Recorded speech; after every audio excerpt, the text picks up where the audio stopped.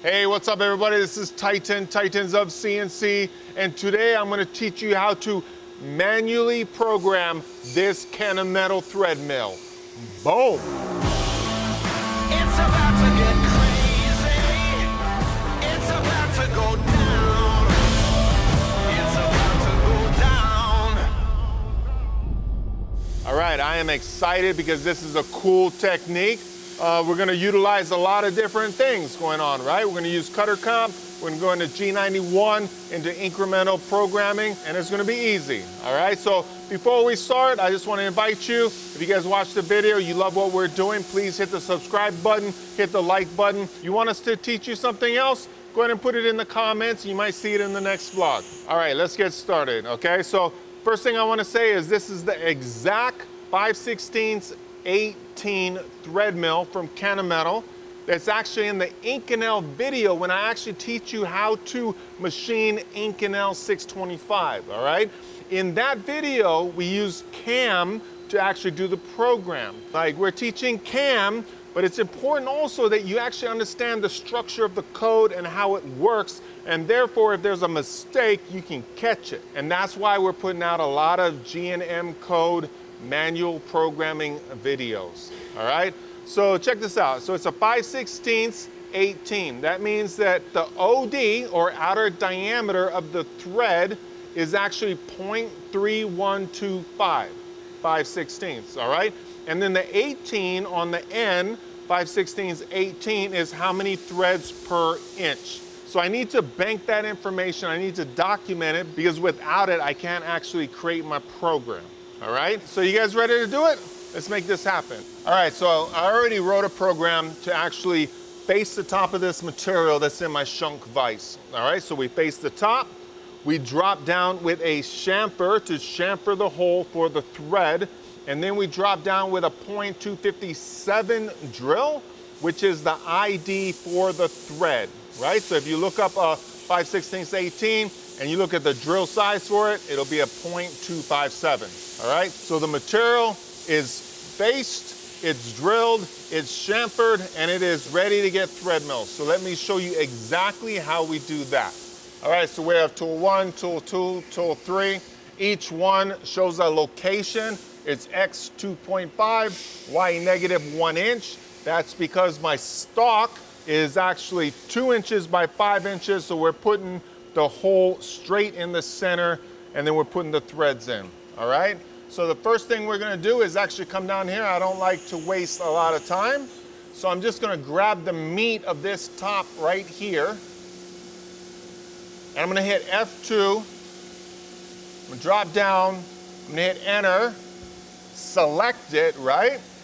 Drop down here. We actually have some ender blocks and I just created space. You guys already know my style. I like it clean, all right? So I'm just gonna hit enter, boom. Now, if the drill was tool three, then the thread mill is gonna be tool four, all right? So I'm gonna hit memory, edit, get right back in. All right, so now I hit T4, just a little bit quicker than writing everything. Now I'm gonna hit H4, boom. I already got my location dialed. So on my speed, I'm gonna drop it down to 4,000. I don't want it wiggling too much. I wanna put a little pressure on it, okay? So I'm just gonna hit 4,000, boom, boom, boom, for this thread mill in aluminum. It can go a lot faster, but that'll be good for this demonstration, all right? So my T is four, my, my H is four, Z.1, we are ready to actually program it, all right? So the first thing we're gonna do is actually drop down a half an inch into the hole. So I'm gonna hit G1, Z negative 0.5, feed, I'll just go 50, boom, and a block, enter. There you go, all right? Now that I've dropped down, I need to actually move into the material, right? Because then I'm gonna helical up. So how do I get that number? I simply get that number by taking the OD of the thread, which is 0.3125, and then subtracting the diameter of the thread mill, which is 0.2325, which gives me a difference of 80 thousandths, right? And then we divide 80, which gives us 40. So 0.040. That means center, when I drop into the hole, actually move over 40 thousandths. Then I'm gonna helical up, and then there'll be 40 thousandths this way, and as I go around in a diameter, there's 40 thousandths this way, which makes up the 80 thousandths difference. All right, so I'm gonna actually put it in there. One thing that you're gonna see me do is, I'm gonna actually come in, I'm gonna hit G1, G41, I'm entering cutter comp, right? Because with a thread, we want to actually use cutter comp because we might have to adjust that thread by like tenths or a thousandths to make sure that the go no go the go drops in and the no go does not drop in right? So we're just gonna have to like finesse this thread and once we get it then we can just repeat it repeat it repeat it all right? So I'm gonna use a G41 which will allow me to actually push the hole out or subtract it in. Got it all right, so G41, now I'm gonna go into G91 because I'm, I'm at location, I drop down, I don't wanna add a bunch of numbers, so I just wanna start absolute positioning from the center of the hole. I'm just gonna move over G91, which is incremental. And if you guys don't understand incremental programming, then go back to the video that I just did. There was an advanced manual programming trick because I really spoke about the brilliance of a G91 and the importance of coming back with a G90 so you don't crash your machine. All right, so you guys can check that out. So back to programming. So I got a G91 X.04 and then I have to put a D value for my G41 and since it's tool 4, I'm gonna put a D4.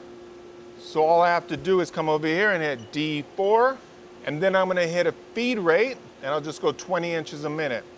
End the block, boom. All right, now we moved in. So now we're gonna helical up one time, all right? So how do we figure out that number? We take one inch divided by 18 threads, which gives us 55 thousandths, and that's gonna be my Z move. So by the time I rotate 360 and I come back, I will be above where I started in Z by 55 thousandths. All right, so we're gonna rotate counterclockwise, which is a G3, G3. We gotta call it back to center. A lot of people ask me like, oh, I's and J's. It's pretty simple. I's look back in X and J's look down or up in Y, all right? So since I'm moving over in X, I wanna look back and find my center, all right? So that's gonna be an I value. So I hit I negative 0.040 because that's how much I moved over. I'm already in G91, so I'm simply gonna put Z.055. The feed rate's gonna remain the same. End the block, boom. All right, so now I've come out. Now I wanna back off and go back to center. So I'm simply gonna hit G1, since we went to G3, now we gotta go back to G1, X negative 0.040, end the block, enter, boom. All right, now I'm gonna hit my G90 to get out of G91 incremental. So now I'm going back to absolute, boom. All right, so I'm gonna make two more passes. I'm simply gonna come up here. I'm gonna hit F2. I'm gonna drop down, enter, hit it two times, enter, enter, and there you go, one, two, three, all right? Now let me say, 40 thousandths over is my finish, right? Because we calculated it, so that is my finished pass, all right? So I'm gonna leave this alone, but I'm actually gonna slow it down. So let's go feed 10 point alter. Now, this will be my my first finish pass. So this will be the finish pass. This will be the spring pass. It's going to allow these boats to stay exactly at 0.040, 0.040. One finish, one spring. All right? I'm going to adjust my feed rate on here to 15. Boom. Now, I'm going to come back up here. I'm going to make this my first roughing pass. So it can't be 40. I'm going to back off it. All right? By 4 thousandths, which will allow me to have a 4 thousandths finish. So I'm simply gonna come back up here, hit X 0.036, boom, I negative 0.036, boom, and then X negative 0.036, alter, and there you go. So it goes to location, it drops down, it roughs it, moves over 36 thousandths. My I and my X is also correct, correct. I'm always double checking. Comes around, comes back to center, drops down, moves into 40, comes around, drops down, does a spring pass at 40, lifts up, we're in absolute, and it ends the program. That's it. All right, so I'm gonna show you how it actually runs two times. One will be with coolant, and then we'll already have the thread in there, so I'll turn the coolant off just so you can get a clean look at the movement as it comes around, drops back in, movement, comes around, drops back in, movement, boom. All right, let's go check this out.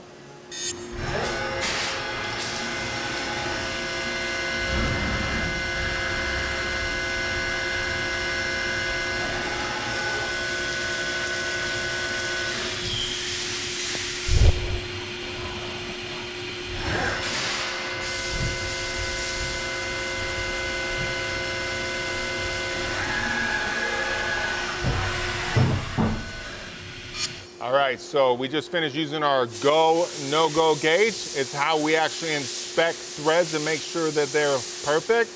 Our go side dropped right in, no problem.